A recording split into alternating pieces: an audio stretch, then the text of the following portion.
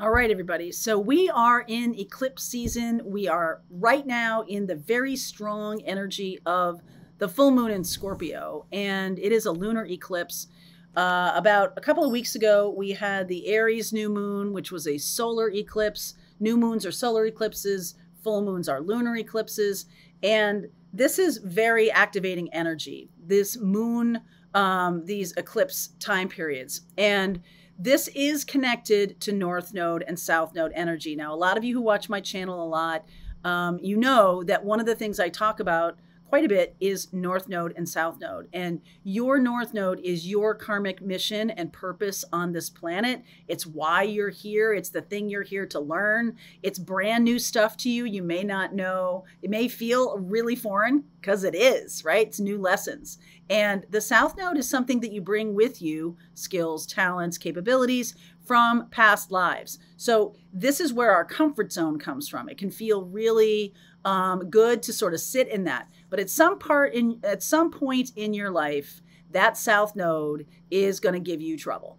Okay? And what happens when that when that happens is sort of like, "Oh, wow, it's like a jarring event." You're like, "This is something I could always count on as being, you know, consistent in my life and it's not being consistent anymore." So, what happens is you're being pushed. The reason that that's happening is you're being pushed to go toward the north node energy. And the north node is you know getting you out of your comfort zone and getting you toward new capabilities new ways of being in the world uh, karmic path clearing past energies. All of this kind of stuff is happening. And you have a particular north node and south node. Everybody has a north node and south node. They always move in retrograde. And we have a, a pair of them right? So you might have a Aries Libra. You might have a Scorpio or a Taurus and Scorpio. You might have a Gemini Sagittarius. It looks like a little set of headphones in your birth chart. That's what the North Node looks like. Right now, the transit since June, June, since January of 2022 has been in the sign of Taurus, North Node in Taurus, South Node in Scorpio. So we as a collective, we as individuals even, are being impacted by that. Even if I don't have North Node in Taurus, even if I don't have my South Node in Scorpio, I'm still being impacted by that. The energy of it still exists. And the new, it changes signs every 18 months or so. And so eclipses are the beginning, right? They're the, the closure to that last 18 month cycle, the starting the closing of it. So eclipse season is happening right now. We're having that with um, Aries. We just had an Aries new moon that's the sign that the North Node is moving into. We're having a Scorpio full moon right now, the lunar sign, the lunar energy. That's the South Node that we're in right now. That's closing up a chapter.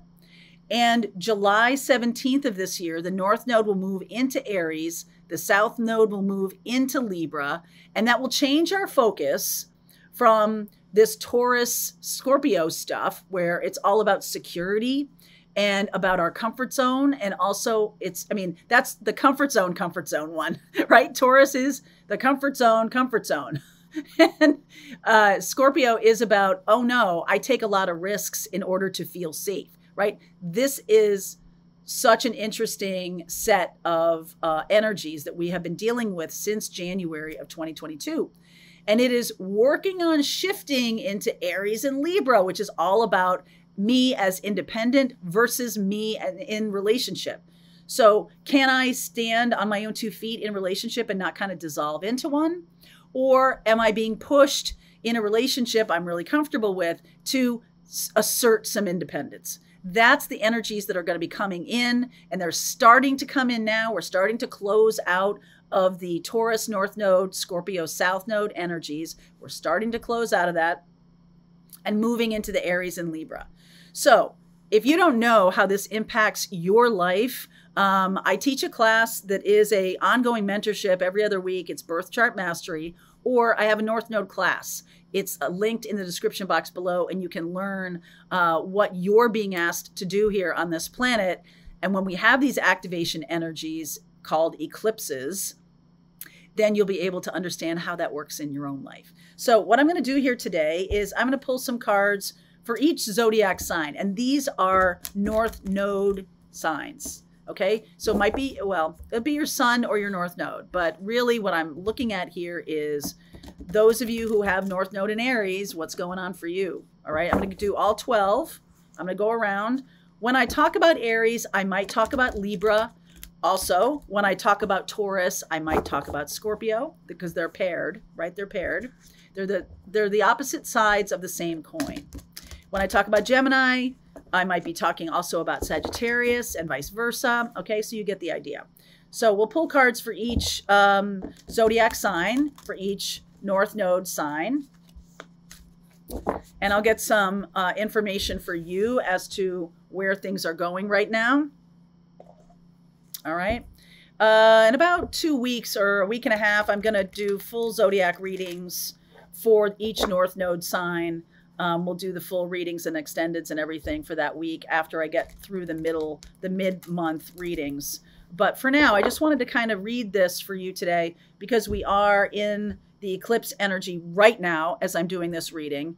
And I think it's really important for us to understand how it's impacting each one of us. Okay. So these are for, I'm going to start with Taurus because we are in the Taurus Scorpio North Node energy still. All right. So let's start with Taurus. We'll go all the way around and you'll hear how I talk about it. Okay. So you'll get a better idea. All right. So for Taurus, Taurus North Node or Taurus Sun, you can have these, both of these things going on for you. The Wood Nymph Beauty and the Star Energy. So healing, um, Taurus, you're really doing uh, some healing. You could be dealing with an Aquarian. I feel like the Wood Nymph is has to do with either some issue around I've always used my beauty or I've always used my um, my persona, my face, or my Taurian energy. I've always used that as something that will keep me safe, right? It can't have to do with money or how you value yourself. Um, I've always used my beauty or my uh, expression, my physical expression, to keep me safe in life. And this is being healed right now. It's almost like you don't have to do that anymore. You don't have to worry if you are getting older and your beauty is fading like it does for all of us. You don't have to worry about that if you're doing your healing work because if you're still holding on um, to a thing that's fading for you or a thing that isn't uh, really a full expression of you. So you might be very young and you're very beautiful, but you're full. You're, there's more to you than that. There's more to you than this. Okay, and so discovering that is a really healing place to be. And I feel like for all uh, Taurians, uh, this is one of the lessons in this last few months of Taurus North Node that you're going to really be experiencing. That it's much more about inner beauty, it's much more about how you express yourself or stepping into uh, being healed of something that has been a crutch or something that you relied on for a long time. This is really what's going to be going on for you. I love the star energy there, Aquarian energy. So you're really seeing a different side of you, or you're going to be seeing a different side of you that is just as beautiful. That is just as beautiful. Okay? That's Taurus. Um, Gemini for you. Anybody have Gemini North Node or Gemini Sun? Wow. All right. Foggy Bog Patience and the Hermit. Uh, if there's been a situation that has been unclear to you, look at him with his lantern. You figure it out. Okay. So if you have a Gemini North Node or if you have a Gemini Sun sign, anything that has been murky these past 18 months is going to be clear and not only clear, but you'll be able to transmute the energies and and work with them and not be triggered by them anymore. Um, we have a lot. Sometimes we can wonder if we're healed from something, something that has been uh, maybe blocking your uh, vision or something like that. We are healed from something when it no longer controls our life. Okay. So that is the goal of a lot of 12 step programs that it doesn't control your life. That's the goal of a lot of uh, work we might do around our our vices or our um, our habits, bad habits that need to go. Maybe you're dealing with someone who's a liar, someone who's confusing you, but you see it now and you work with it in your own self. You purge, let go of any kind of hurt feelings, or you let go of your own need to be right or to be um, knowing everything. and you transmute that into wisdom for yourself. So it's not controlling your life anymore. You've learned the lesson. Okay, Gemini, I feel like you've learned the lesson and that's not going to be a thing anymore. All right, you're moving on from whatever that lesson was. Okay, Cancerians. I'm getting Bluebell Fairy, Gratitude, and the Eight of Wands. Uh, cancer, you could really uh, be in this space of needing to tell people you love them. Uh, it's a time for you to express your thankfulness, your gratitude to people. This is going to be a really important time to do that. Uh, this is part of your path and mission here. It's also about learning how to communicate from a from a higher vibrational place, not a low frequency or not something that's that is asking or receiving. This is almost about giving, giving of your time and of your energy. And the gratitude here is just being super grateful for whatever crosses your path. That's what's going to be showing up for you in the ending of with the Scorpio full moon as we move through June and July or into the uh, Aries North Node. Uh, there's really a closing up. And so there's a thankfulness for the things that have come before, messages coming through. Maybe some of you are opening up to your spiritual gifts a lot more and that's you're like wow this is fantastic. Thank you thank you thank you. I'm so excited to be open to my gifts. So there's a lot of gratitude coming from cancer. That's lovely.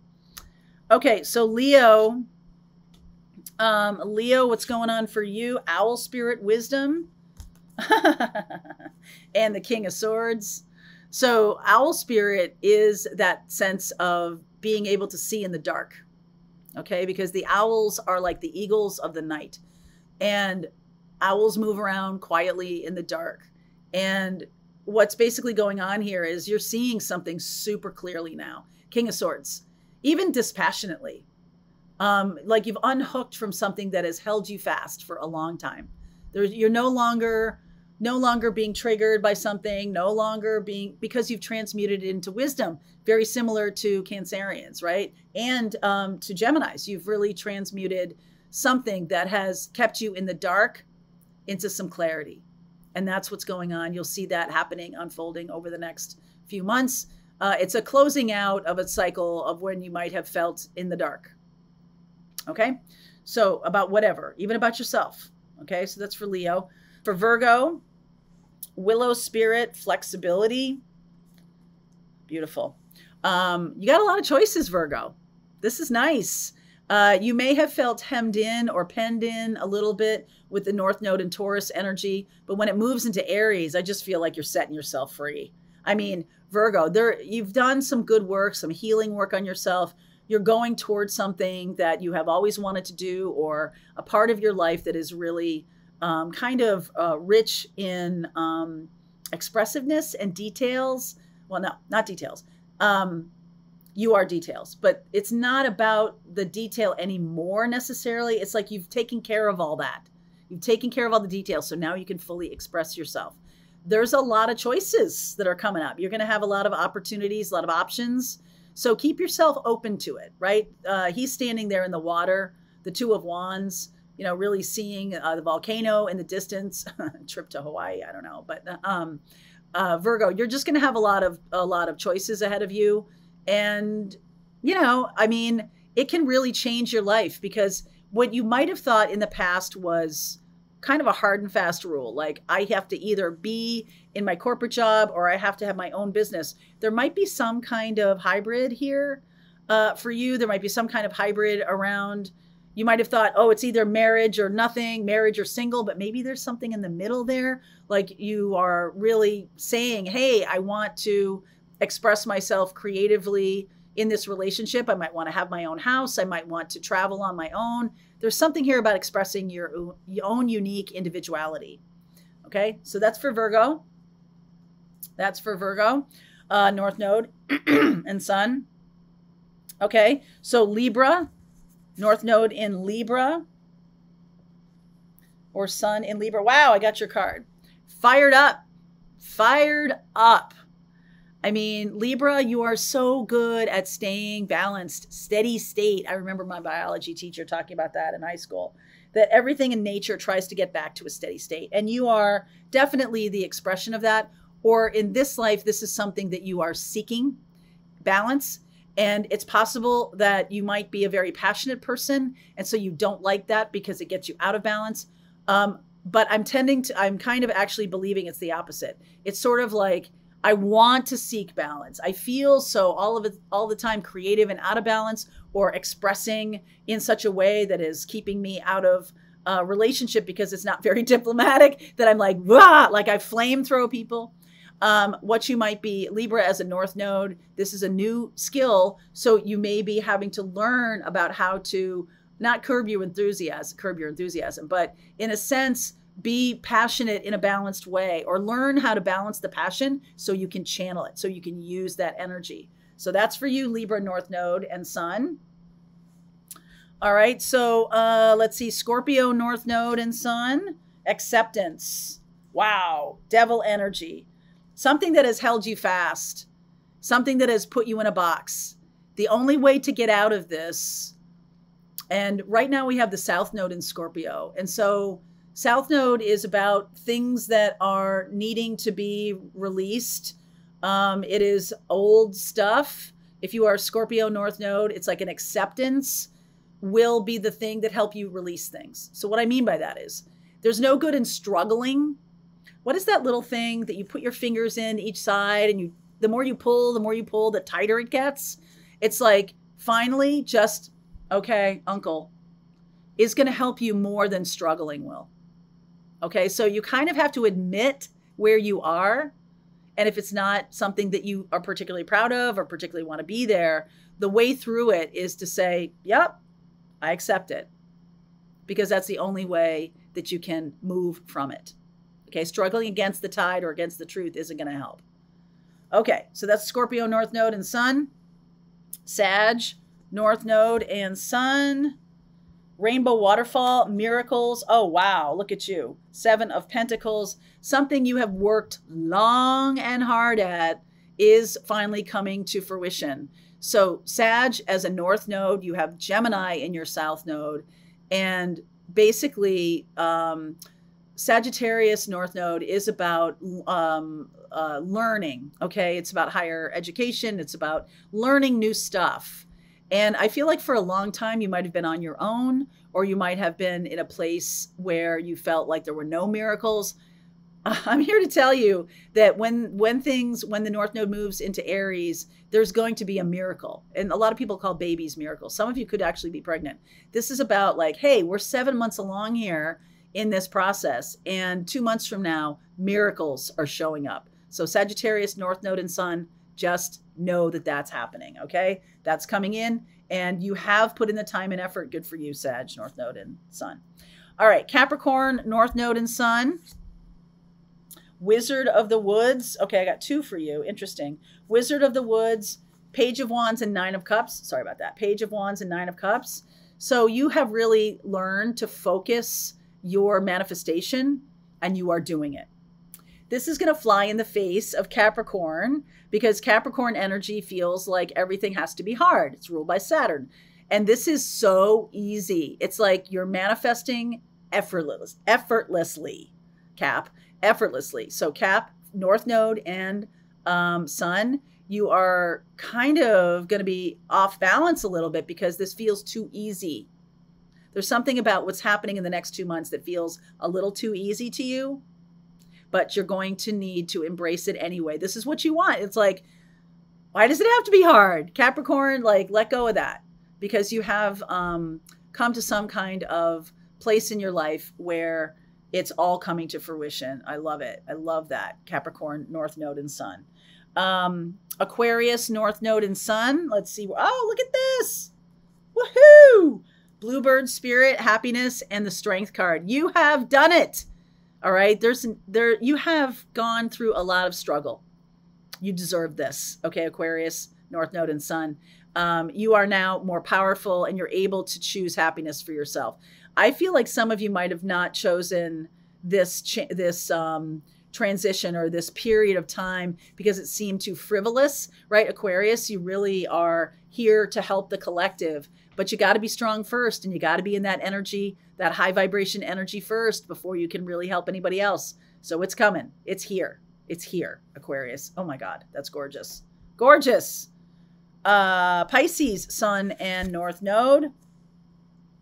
Air Spirit, Knowledge, and the Knight of Wands. Wow. That's movement, man. That is fast movement. So, Pisces, you're tapped in, tuned on, right? You're in your spiritual awareness and uh, like downloads like crazy. This really does give you the energy to move forward uh, and the aware- awareness to move forward. So, those of you who have Pisces North Node, um, that means you have Virgo as a South Node. And some of you, not too dissimilar from Capricorn, feels like everything needs to be hard or there needs to be a certain process to things. This is very un, like air and fire are not structured. Okay. And so it's like comes into your head and you do it, comes into your head and you do it. And that is the way. That is the way forward. So, those of you have Pisces, Sun, and North Node, just know things are going to be a little bit effortless um, which is nice. What's coming to a close is any kind of hard grinding activity. You're not going to have to deal with that anymore. This is much more, this is smooth sailing. Nice for Pisces, North Node, and Sun. And finally, Aries, North Node, and Sun. Oh, beautiful. Beautiful. I love, oh my God. All right. You are getting out of your closed mindset and really stepping into summer with everything it, it has to offer. Uh, summer is um, fertility. Summer is um, uh, lots of abundance showing up. It's all, it's like everything is blooming and blossoming, and there's a lot of fruit to be had. There's a lot of warmth. There's a lot of joy. And, you know, for a long time, you've been holding yourself back, Aries. You've been holding yourself back in a rough situation that didn't didn't really need to stay there and you don't really need to stay there it's like open your eyes and look at the sun right and be part of joy maybe some of you have decided or had decided at one point that like a capricorn like it was hard it needed to be hard or difficult or challenging that relationships that love is pain or anything like that you're really leaving those ideas behind and you're stepping into something much more joyful. Nice. Aries north node and sun. So those that's a little reading for you guys. Uh, north node again is your karmic path and mission on this planet. We are coming to the end of Taurus North Node, Scorpio South Node time period. So we're getting this activation energy in eclipse season, and we're moving into Aries and Libra, Aries North Node, which is about independence and doing things that fire you up, right? It's a fire sign. And the South Node is Libra, which is all about, okay, no, like everything needs to be balanced. Like, let's just move toward what really makes us happy. That's what those readings are about. All right, you guys. I hope that was fun. I hope that was helpful to you. I'll see you tomorrow. All right, I hope you enjoyed that video. If it was helpful to you, please consider liking this video and sharing it with anybody who might have a need for similar kind of information. And if you like this video, check out these videos.